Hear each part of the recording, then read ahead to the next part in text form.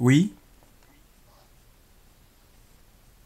où il avait été élevé, et selon sa coutume, il entra dans la synagogue le jour du sabbat. Il se leva pour faire la lecture, et on lui donna le livre du prophète Ésaïe. Et l'ayant déroulé, il trouva le passage où il est écrit L'Esprit du Seigneur est sur moi, parce qu'il m'a oint pour évangéliser les pauvres. Il m'a envoyé pour guérir ceux qui ont le cœur brisé, pour aux captifs la délivrance et aux aveugles le recouvrement de la vue, pour mettre en liberté les opprimés, pour publier une année de grâce du Seigneur. Ensuite, il roula le livre, le rendit au serviteur et s'assit. Les yeux de tous ceux qui étaient dans la synagogue étaient fixés sur lui. Alors il commença à leur dire Aujourd'hui, cette parole de l'Écriture que vous venez d'entendre est accomplie. Euh, gloire à Dieu. Oui, gloire à Dieu. Donc euh, ici, nous avons, il est question de Jésus. hein. Donc euh, après, après sa tentation, vous êtes informé comme moi que Jésus, a, après qu'il soit baptisé par Jean, il a été amené par l'Esprit de Dieu au, au désert. Et pendant, pendant 40 jours, alors qu'il était affaibli, euh, le diable, Satan, est venu et il a tenté euh, à trois reprises. Mais Jésus n'a pas cédé. Et donc après la tentation, donc euh, là, il revêtu, l'Écriture dit revêtu de la puissance, euh, revêtu la puissance de l'Esprit, il s'est rendu à, Nazareth et on a, on a déroulé le prophète Isaïe. Le texte, le que nous, venons de lire se refait à Isaïe, Isaïe 61, mais dans les, les, chez les Hébreux. Chez les Juifs, il n'y a pas euh, le, le- la Torah, c'est pas écrit comme euh, le, euh, les les Bibles que nous avons en français. Par exemple, les chapitres et versets, c'est les livres tout simplement. Par exemple, on a le livre d'Isaïe, on a le livre de, euh, euh, on, a le, le- on a Deutéronome. Il n'y a pas Deutéronome chapitre 1, chapitre 2. C'est un, c'est un rouleau. Allô?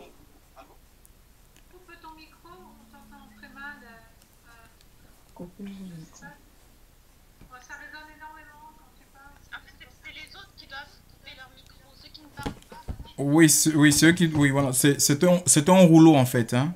Donc c'est un rouleau et là, ici, il nous est pas dit, il a ouvert Isaïe 62, non, il a ouvert le, le passage où il était écrit, l'Esprit du Seigneur est sur moi parce qu'il m'a oint pour annoncer la bonne nouvelle aux pauvres. Hein, voilà, donc dans d'autres versions, il est parlé d'annoncer, évangéliser, c'est annoncer.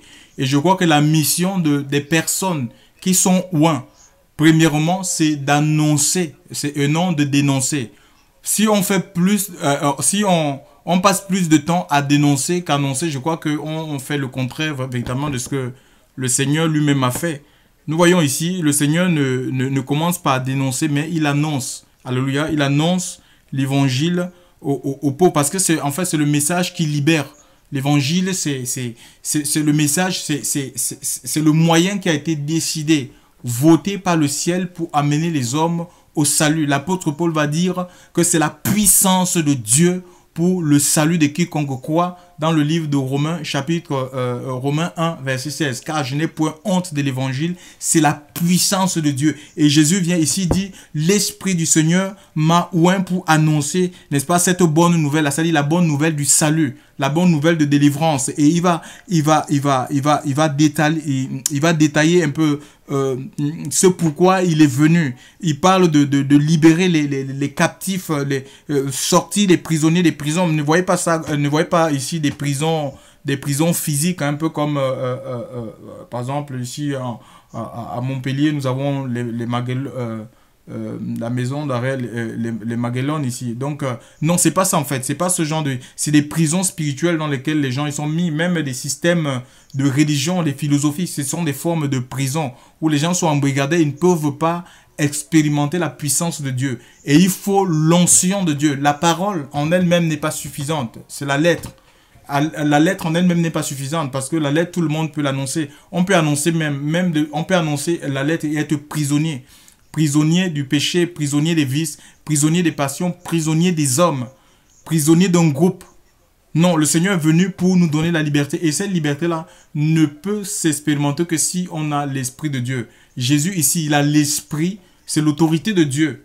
Nous en avons besoin et il est le corps. Hein, le, Seigneur, le, Seigneur, pardon, il est la tête du corps.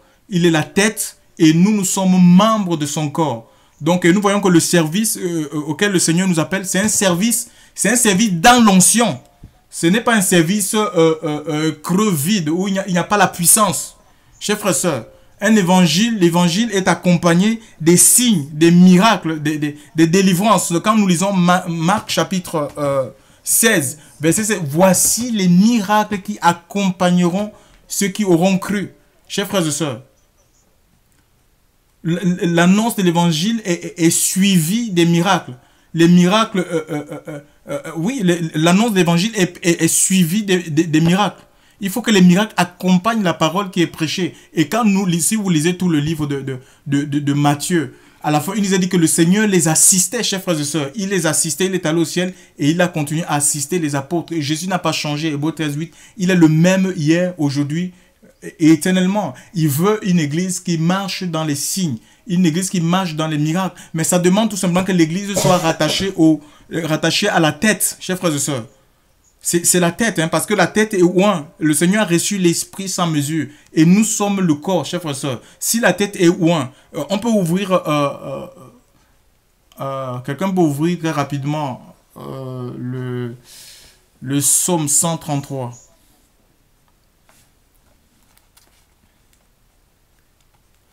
Le psaume 133.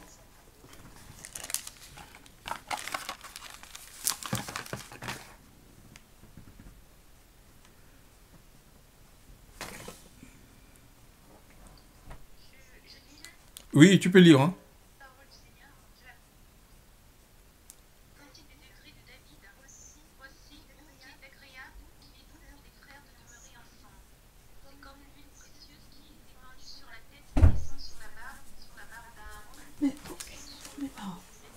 Oui.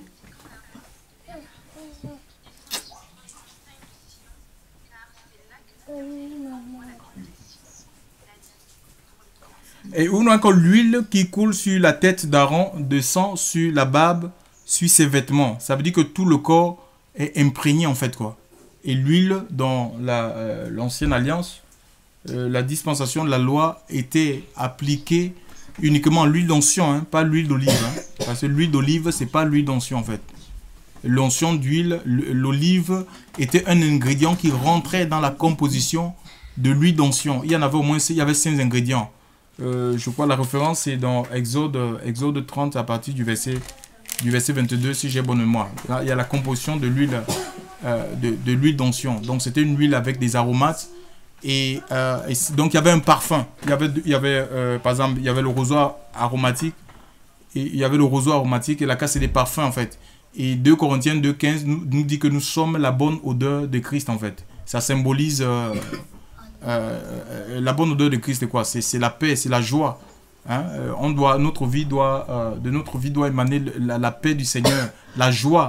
La, cette joie, c'est une joie qui est produite par le Saint-Esprit et les gens, ça doit être visible. C'est pas, euh, ça n'a rien à voir avec notre état d'être. On peut être pauvre, mais c'est la joie du Seigneur qui est en nous. C'est la paix de Dieu qui surpasse que tu nous dis tout, en, euh, tout, tout, entendement. Ça n'a rien à voir avec les circonstances. Les, circonstances peuvent être critiques, mais c'est quelque chose qui ne, quitte, qui ne nous quitte pas. C'est dans notre esprit que Dieu met, euh, Dieu met ces choses. Donc si nous sommes... Euh, pourquoi l'Église est-elle sans force aujourd'hui ou nos vies sont sans force? Tout simplement parce qu'on on, est coupé de la tête, chers frères et sœurs. Hein? On est coupé de la tête. C'est la tête qui, qui, qui, oriente, qui dirige le corps, chers frères et sœurs, dans le Seigneur. Hein? Si on n'accepte pas que Dieu nous dirige, on ne peut pas. On peut, l'huile, on peut pas. Notre vie sera sans huile. Et s'il n'y a pas de l'huile, il n'y a pas de la force. On ne peut pas éclairer. Ouais, déjà, on ne peut pas éclairer. Hein? Et le Seigneur nous dit dans le livre de Matthieu, chapitre 5, euh, verset 13, que vous êtes, euh, euh, vous êtes le sel de la terre. En tant qu'Église, vous, en tant que vous êtes le sel de la terre. Vous êtes la lumière du monde. Et une, une, une, ville située sur une montagne ne peut être cachée, chers frères et sœurs. Hein. nous, sommes nous sommes sur la terre. la mission c'est de saler en fait, parce que le monde, euh, euh, le monde est sans goût. Le monde est sans goût. Alléluia. Le monde est fade et les gens, ils, ils en ont marre. au point où la seule, la seule issue, c'est souvent le suicide. Ils pensent au suicide. Hein. Et, Dieu nous a placés en tant que sur la terre. Hein. Donc, en, fait, dans le royaume des cieux, il n'y a pas la notion de frontière.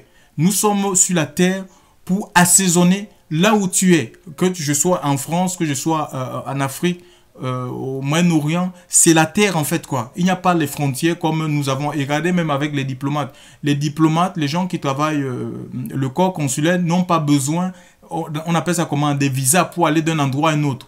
Ils ont des passeports rouges. C'est des passeports diplomatiques. Ça dit qu'à tout moment, il peut se lever. Avec ce passeport, il n'a pas besoin de, de faire tout ce qu'on a besoin. Il faut constituer un dossier. Non, ils n'ont pas besoin de ça. Ils ne connaissent pas les frontières en fait. C'est pareil, nous, dans le royaume des cieux, il n'y a pas, mais c'est dommage qu'aujourd'hui, euh, euh, euh, on, trouve le, racisme, les, discriminations, le, dans, au milieu du peuple de Dieu. Et pourtant, on est un seul peuple, une seule nation, la nation de Dieu, et nous sommes sur la terre comme des ambassadeurs, ambassadeurs pour Christ. Nous représentons un royaume, le royaume des cieux. Et Dieu nous a placés sur la montagne nous sommes sur la montagne de Dieu, parce que la montagne, ça symbolise le royaume. Nous sommes sur la terre, mais sur la montagne de Dieu, et les gens qui sont euh, sur la vallée, hein, la vallée d'ossement, la vallée desséchée, chers frères et sœurs, ceux-là qui sont sans Dieu, sans vie, sans espérance, ils nous voient, ils doivent voir la lumière en nous. Alléluia. Ils doivent voir la lumière de Christ en nous. Et ça, c'est l'Esprit de Dieu qui, nous, qui, qui éclaire nos vies. Sans l'Esprit, on, on, ne peut pas, on, on, ne peut pas être éclairé, on ne peut pas quitter la vie de péché. C'est l'Esprit de Dieu qui nous montre déjà notre propre vie des choses qui ne vont pas pour qu'on puisse rectifier le tir. C'est l'Esprit de Dieu qui nous utilise, chers frères et sœurs, dans, euh, dans l'annonce l'Évangile. Nous voulons des prédicateurs, mais des prédicateurs qui sont loin de l'Esprit Saint. Chers frères quand il y a l'huile, euh, euh, il y aura des guérisons. Les chaînes sont brisées quand le message, est, prêché. Le message, contient la vie en fait. Le message contient la vie. Et bien c'est ça, le Seigneur ne nous a pas appelés à être des, religieux et des religieuses. Chers frères il faut tout simplement qu'on s'attache, qu'on s'attache à la tête. On doit s'attacher à la tête, chers frères. Alors c'est et c'est Dieu qui va nous utiliser puisque nous sommes son corps. Et, l'Écriture nous dit que en fait, celui qui croit, si nous avons cru au Seigneur, nous devons rentrer dans cette œuvre-là, chers frères et sœurs. Alléluia. Nous devons rentrer dans ce ministère, qu'on soit un homme, qu'on soit une femme. Celui qui croit en moi fera les mêmes œuvres que j'ai faites. Il ne s'agit pas de dire maintenant, bon, les femmes doivent devenir des apôtres, des prophètes, des évangélistes, des pasteurs, des docteurs. Non, ce sont des ministères qui sont réservés aux hommes, mais Dieu peut utiliser une femme dans la prophétie, Dieu, les dons, les connaissances, Dieu peut utiliser une femme dans l'annonce de l'évangile, la proclamation de l'évangile, chers frères et sœurs. C'est le ministère que nous avons reçu. En proclamant l'évangile, nous réconcilions les hommes avec Dieu. 2 Corinthiens chapitre 5, verset 17. Nous sommes des nouvelles créations. Euh, euh, euh, en Christ, on est devenu une nouvelle création. Cela ne vient pas de nous, mais de Dieu qui nous a réconciliés avec avec son Fils, de Christ nous a réconciliés avec Dieu et il nous a donné le ministère, le service de la réconciliation. C'est le service de tout enfant de Dieu. Alléluia. Qu'on soit un homme, qu'on soit une femme, nous sommes appelés à réconcilier, premièrement, les hommes avec Dieu. Deuxièmement, les hommes entre eux. On est, on est des artisans de paix. On n'est pas là pour s'aimer les tensions, les conflits, chers frères et sœurs, dans les foyers, dans les vies des personnes. Non, c'est pas la mission, c'est pas, pas notre mission. On n'est pas là pour opposer les gens, opposer les peuples. Non, c'est pas notre mission. Alléluia, c'est la réconciliation. Et premièrement, c'est d'abord avec, euh, avec le Seigneur. Donc une femme peut enseigner, elle peut recevoir, c'est ça l'édification. Elle peut recevoir une pensée du Seigneur et la partage. Elle la partage sans pour autant être apôtre, prophète, je ne sais pas, avoir un ministère de direction. Non, euh, parce que ça, ça ne veut pas dire, oui, Dieu peut utiliser une femme, Dieu peut amener une femme, par exemple, à, commencer une œuvre. Dieu peut l'utiliser un apostole, mais ça veut faire par d'elle euh, une, une, apôtresse. Et parce que c'est les ministères que Dieu a réservés aux hommes. Ça ne veut pas dire que les femmes ne sont pas capables. Elles sont capables, mais s'il est question tout simplement d'obéir à la parole, à la parole de Dieu. Le Seigneur a choisi 12, c'était des hommes. Mais il était entouré, on voit bien qu'il était entouré des femmes. Alléluia. Gloire à Dieu.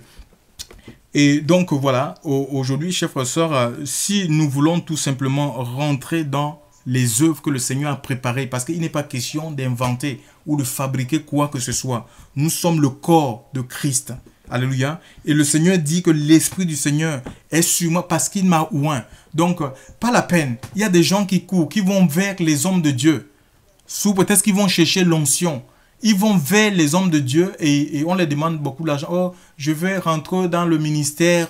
Euh, euh, ils vont voir un, apôtre qui est complètement, qui est déjà peut-être un apôtre qui est rejeté par Dieu.